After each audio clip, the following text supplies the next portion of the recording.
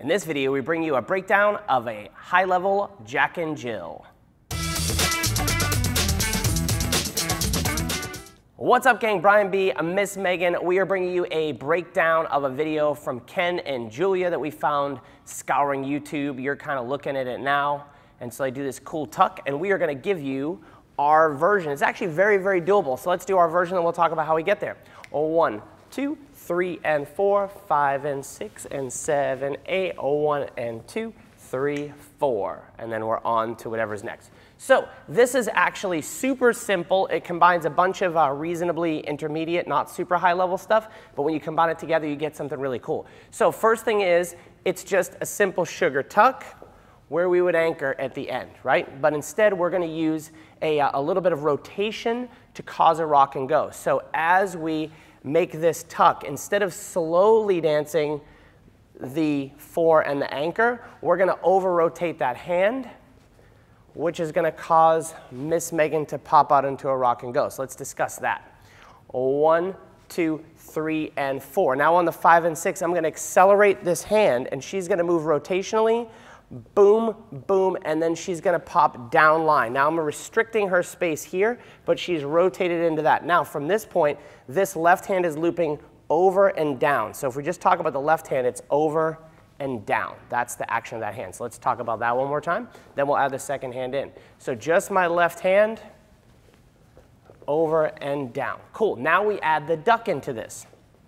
So sugar tuck, one, two, three, and four. Adding the rock and go, five, and six over rotated. Now, as this hand comes over, it's gonna present her tricep slash uh, armpit, and I'm gonna take this over as I step to the side. Now for the followers, let's do it from this side so you can, we can discuss this duck for you. Do, do, do, do, do, do. And as you're gonna duck, the higher I go on this, the less Megan has to duck, right? So if I wanted to do this really high, she would hardly have to duck at all. The tighter I get to her armpit, the more she's going to need to make that duck happen. Yes? So leaders, the higher I go up towards the elbow, the easier it is. One, two, three, and four, five, and six, and seven. They hold eight. Then they have a little one and two. This is where we get a little BS in the footwork, but we go one and two, and then we both walk three, four for the anchor, three, four, and that puts us back on the correct foot to come out. Yes? So let's look at this one more time because there's a kind of a cool trick um, that they use at the end to cause this to happen.